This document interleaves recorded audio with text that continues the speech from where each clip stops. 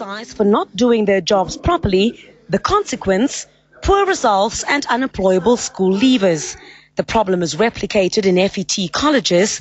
Trade students don't make it into the workplace, perpetuating the shortage of scarce skills such as artisans and engineers. We are now designing and implementing a program to train college uh, lecturers so that they produce students who are employable. The announcement's been welcomed by Teachers Union SADTU and the South African Students Congress. Meanwhile, SASCO says it will intensify its demand for free higher education. It's again called on government to levy an education tax on business and the wealthy.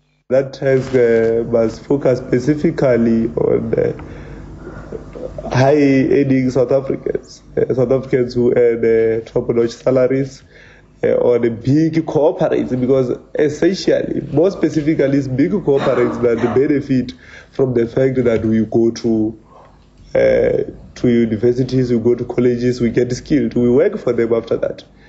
South Africa has more than 50 government sponsored FET colleges, and most are in a poor state. Plans are afoot to increase their funding as well as bursaries for needy students. Crisalda Lewis, SABC News.